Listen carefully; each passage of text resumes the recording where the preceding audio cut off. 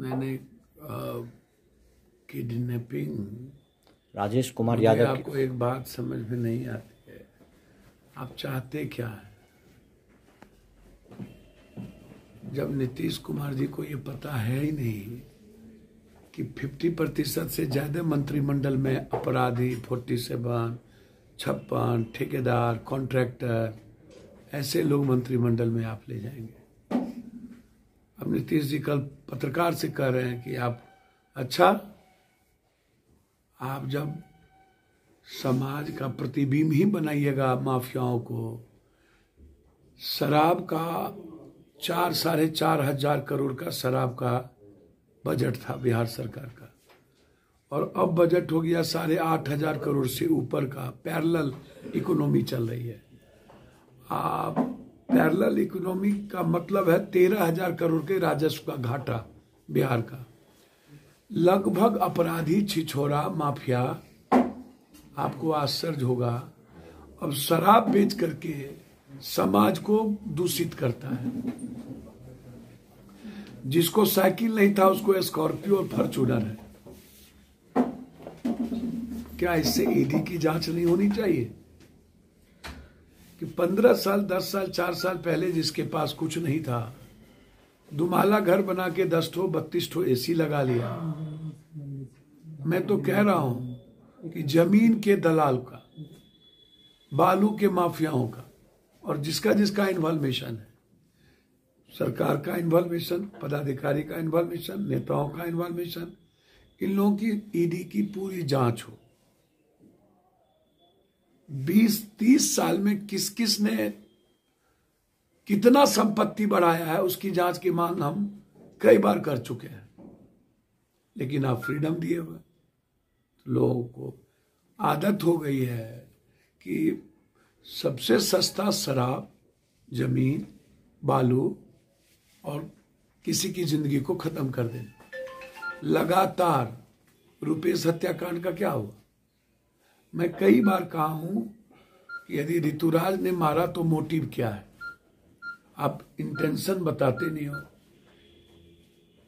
आई conduct आप intention तो बताओगे कि रुपेश की हत्या के पीछे मैं बार बार कहता हूँ, या तो सीडी है, या तो लड़की है, या तो ठेका है। और डीजी ने भी कहा था कि रुपेश की हत्या शूटर ने किया। ऋतुराज कहते हो कि पहली दिन गोली चलाए तो शूटर तो हुआ नहीं।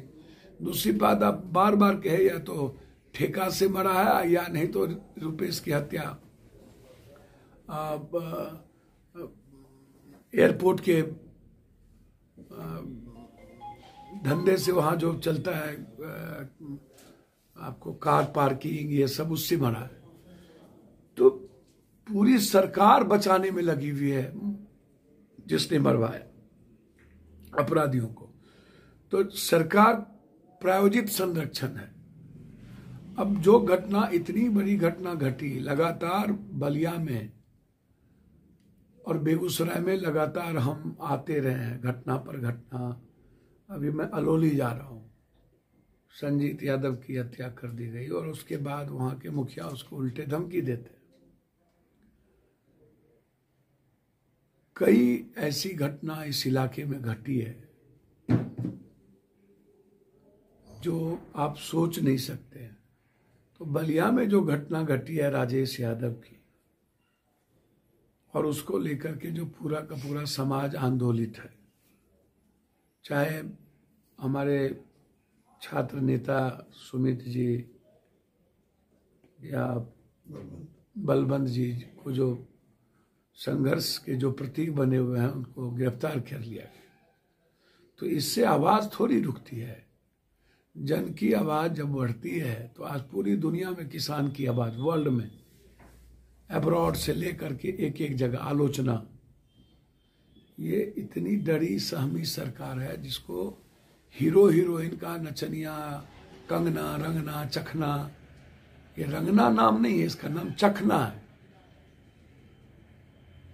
इस सब का सहारा लेना पड़ रहा है। इतनी डरी हुई सरकार। तो अपराधियों के संरक्षण में जब कोई सरकार चलने लगे तो समझिएगा,